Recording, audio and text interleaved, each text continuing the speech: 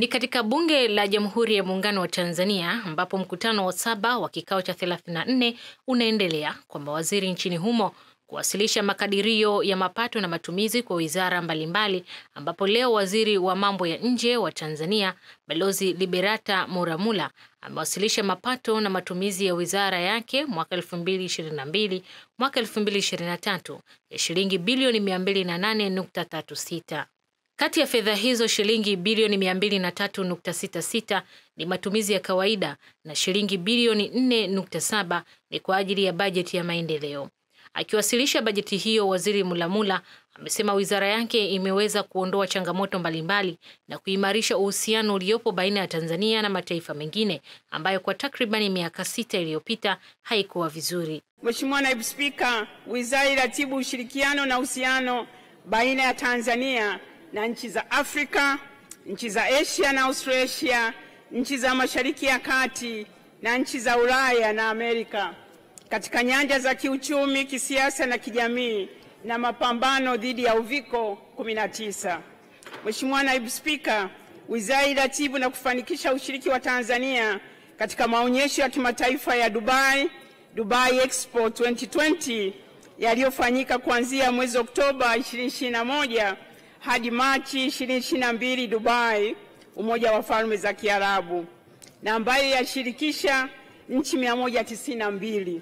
Nchi yetu ilipewa heshima ya kuwa na siku maalum ya Tanzania katika maonyesho hayo yaliyoadhimishwa tarehe 26 Februari 2022. Hata hivyo, hotuba ya Mulamula imekosolewa vikali na wabunge waliopata nafasi ya kuchangia baada ya kutozungumzia uraia pacha ambayo kwa miaka mingi umekuwa ukilalamikiwa kutokana na kwamba umekuwa ukiwatenga raia wa Tanzania. Kwanza ifahamike kwamba tunapochangia hatuchangii kwamba tunaipinga serikali au mambo mazuri yanayofanywa na serikali. Kazi ya mbunge ni kuishauri serikali, hiyo ndio kazi ya mbunge. Sasa serikali walichukue au wasilichukue ni juu yao. Kwa hiyo tunataka tuseme tu kwamba mimi naunga mkono hoja hii, lakini tunataka kumshauri mama yetu, waziri wetu. Labda kwanza nianze na hili tu ambalo ameliacha mama la uraia pacha. Uraia pacha ni muhimu kwa nchi yote, hata kama kuna kuja hilo neno la hazi maalum au chochote. Na tunaposema uraia pacha au yule Mtanzania atakayepata hiyo passport labda atakuwa na passport mbili. Sisi hatuna haja, kama mimi sina haja, mimi nataka passport ya Tanzania tu inanitosha. Lakini wengi waliokuwa kule ugaibuni ni wale watu ambao wameenda kutafuta maisha, hawajaenda kule kutalii. Watu lazima wafahamu hicho kitu. Hebu tu, tuzungumze. Je, hawa wanafunzi wanayemaliza vyuo vikuu au hawa watu wanayemaliza shule hapa Tanzania kuna kazi za kuwapa? Hakuna kitu kama hicho. Kwa hiyo watu wanakwenda kule kutafuta maisha. Tuchukue kama nchi Philippines.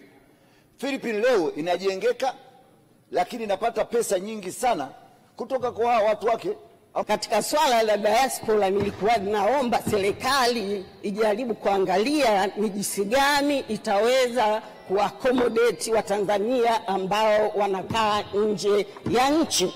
Mara ya mwisho niliweza kuchangia hapa na katika bajeti iliyopita mwaka jana tuli, nilizungumza kwamba serikali inaweza ikawapa uraia pacha wale Watanzania wanaokaa nje ya nchi, lakini ikawawekea condition ya kuto kugombea nafasi za uongozi, na hii itasaidia sana kuwawekea ile limiti ya kuingia serikalini, lakini kukiacha kizazi cha Watanzania kukaa nje ya nchi bila kuwapa uraia pacha, Mheshimiwa Naibu Spika, naona kwamba tunapoteza kizazi kizazi chetu ambacho kinakaa ughaibuni. Suala hilo limekwenda mbali zaidi kwa baadhi ya wabunge kumtaka Waziri Mulamula kuacha kuwa mwanasiasa na badala yake awe mtaji kwa serikali kwa kuyatimiza yale ambayo ameahidi. Hoja hiyo ilibuliwa na mbunge wa viti maalum Sofia Mwakagenda ambaye aliifanya bunge kuibuka na minong'ono. Nakumbuka bajeti ya mwaka jana alizungumzia atatekeleza swala la uraia pacha na kuileta kwenye bajeti hii, lakini hata hajazungumzia na wala hajaingiza kwenye bajeti yake. Kwa hiyo nataka tu kumkumbusha aendelee kuwa mtendaji, asitufuate sisi wanasiasa. Kutoka Dar es Salaam, Tanzania, Asia Gamba, Mwanzo TV.